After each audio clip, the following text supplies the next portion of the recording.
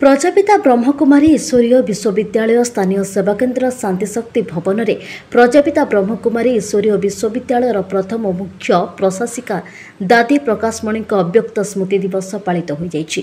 ଏହି ଅବସରରେ ଶାନ୍ତିଶକ୍ତି ଭବନରେ ଆୟୋଜିତ ଏକ ଆଧ୍ୟାତ୍ମିକ ସ୍ନେହ ମିଳନରେ ଶାନ୍ତିଶକ୍ତି ଭବନ ସଞ୍ଚାଳିକା ରାଜଯୋଗିନୀ ବ୍ରହ୍ମକୁମାରୀ ପ୍ରଭାତୀ ଭଉଣୀ ଦାଦି ପ୍ରକାଶମଣିଙ୍କ ସ୍ମୃତିଚାରଣ କରିବା ଅବସରରେ ପ୍ରକାଶ କରିଥିଲେ ଯେ ଦାଦି ପ୍ରକାଶମଣି ପରମାତ୍ମା ଶିବପିତାଙ୍କ ଦ୍ୱାରା ପ୍ରଦତ୍ତ।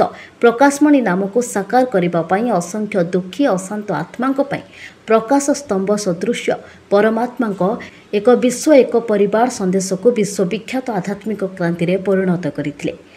ଦାଦି ପ୍ରକାଶମଣିଙ୍କ ଅକ୍ଲାନ୍ତ ଉଦ୍ୟମରେ ଆଜି ଶହେ ଚାଳିଶ ଦେଶରେ ଈଶ୍ୱରୀୟ ବିଶ୍ୱବିଦ୍ୟାଳୟର ପାଞ୍ଚ ହଜାରରୁ ଅଧିକ ସେବାକେନ୍ଦ୍ର ବିଶ୍ୱବାସୀଙ୍କୁ ମାନବୀୟ ମୂଲ୍ୟବୋଧର ଶିକ୍ଷା ପ୍ରଦାନ କରିବାରେ ଅଗ୍ରଣୀ ଭୂମିକା ଗ୍ରହଣ କରିଛି।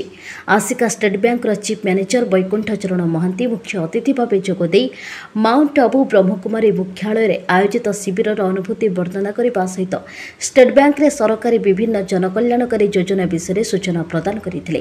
ଷ୍ଟେଟ୍ ବ୍ୟାଙ୍କ ଲାଇଫ୍ ଆଞ୍ଚଳିକ ପ୍ରବନ୍ଧକ Arun Kumar Barik state bank general ବାଣିଜ୍ୟିକ ଉନ୍ନୟନ ପ୍ରବନ୍ଧକ ରାକେଶ କୁମାର ମହାନ୍ତି ଓ ବାଣିଜ୍ୟିକ ଉନ୍ନୟନ ପ୍ରବନ୍ଧକ ରାମ ମିଶ୍ର ସମ୍ମାନିତ ଅତିଥି ରୂପେ ଯୋଗଦେଇ ବିଭିନ୍ନ ବୀମା ଯୋଜନା ବିଷୟରେ ସୂଚନା ଦେବା ସହିତ ଦାଦିଙ୍କୁ ଶ୍ରଦ୍ଧାସୁମନ ଅର୍ପଣ କରିଥିଲେ। କାର୍ଯ୍ୟକ୍ରମ ଶେଷରେ ଶାନ୍ତିଶକ୍ତି ଭବନ ସଞ୍ଚାଳିକା ରାଜଯୋଗିନୀ ବ୍ରହ୍ମକୁମାରୀ ପ୍ରଭାତୀ ଭଉଣୀ ରାଜଯୋଗ ଅଭ୍ୟାସ କରାଇଥିଲେ।